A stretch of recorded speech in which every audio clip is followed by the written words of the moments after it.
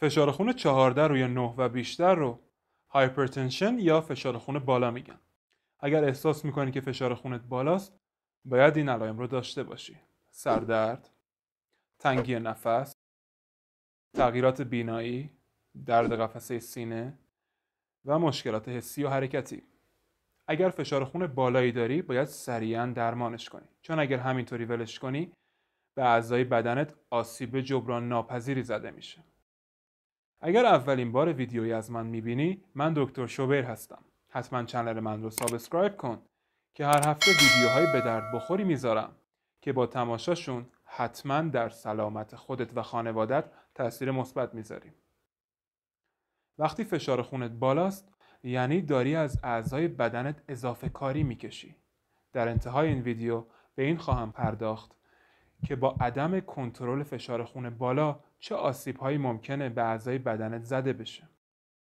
مواردی که باعث میشه دچار فشار خون بالا بشی چاقی مصرف زیاد الکل سندروم متابولیک دیابت مصرف زیاد سودیوم وقفه تنفسی در خواب دیسلپیدمی کهنسالی و سابقه خانوادگیه.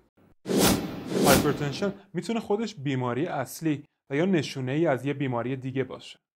یه بیماری زمینه ای برای من پزشک این خیلی مهمه که بدونم بیمارم چه نوع فشاری داره. نوع اول essential hypertension یعنی فشار خون اساسی. این نوع خودش یه بیماری اصلیه و در کل به شیوه زندگی و ژنتیک مربوط میشه. نوع دوم فشار خون ثانوی است. این نوع نتیجه بیماری زمینه ایه. حتما می‌پرسید چه بیماری های زمینه ای باعث فشار خون بالا میشن. من بیماری ها رو به انگلیسی میگم. ترجمهش اینجا براتون ظاهر میشه. coarctation of the aorta pheochromocytoma hyperaldosteronism Cushing syndrome renal artery stenosis chronic kidney disease polycystic kidney disease nephritic and nephrotic syndrome obstructive uropathy hyperthyroidism hyperparathyroidism sleep apnea chronic alcohol use using NSAIDs methamphetamine cocaine پریکلامسیا و استفاده از داروهای ضد بارداری خوراکی خب یادتون اول ویدیو گفتم که اندامهای بدن آسیب می‌بینن. اگر فشار خون بالا رو کنترل نکنیم. حالا بذارید براتون بگم که چطوری این آسیب ها اتفاق میافتن. اولین آسیب به رگها زده میشه. رگهای نرمال جریان خون مناسبی دارن. اما در فشار خون بالا و در صورتی که کنترلی صورت نگیره تغییرات عروقی رخ میده. تغییر شکل، بزرگ شدن و گشاد شدن بیش از حد لزوم. در مرحله اول پلاک ها جمع میشن و دیواره رگ ها شروع به زخیم شدن می‌کنه و در مراحل بعدی به علت اختلال عملکرد دیواره عروقی اندوتلیال حتی پلاک های بیشتری تشکیل میشن و خب مجددا دیواره رگ ها به زخیم شدنشون ادامه میدن. همه اینا باعث باریکتر و باریکتر شدن حفره های داخل رگ میشه و طبیعتا فشار خون تشدید پیدا می‌کنه.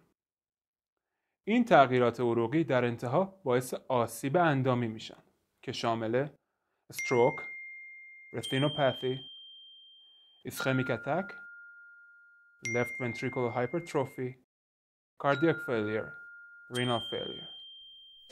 شما وقتی با مشکل فشار خون پیش پزشک میرین باید از شما ECG گرفته بشه یعنی الکتروکاردیوگرام یا همون نوار قلب. این کار برای بررسی عملکرد قلب شماست. تست ادرار برای بررسی عملکرد کلیه شما و سرولوژی تست برای بررسی plasma renin، plasma aldosterone و thyroid function test.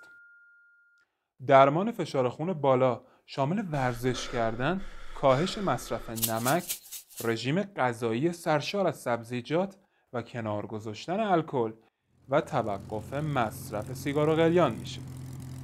مشخصه که داروهایی برای پایین آوردن فشار خون در بلند مدت و همینطور برای استفاده موارد اورژانسی وجود داره. داروهایی مثل انالاپریل و کپتوپریل برای موارد اورژانسی و داروهایی مثل لوزارتان و والسارتان یا آملودیپین و والزومیکس که ترکیبی از آملودیپین و والزارتان هست. داروی خوبی برای کنترل فشار خون بالا در بلند مدته و اینا نباید به صورت خودسر استفاده بشن. چون دوز این داروها فقط با بررسی سن شما قد و وزن شما و سابقه بیماریتون مشخص میشه. اگر از این ویدیو لذت بردید حتما این ویدیو رو لایک کنید و برای دوستان و آشناهاتون که به فکر سلامتیشون هستید ارسال کنید.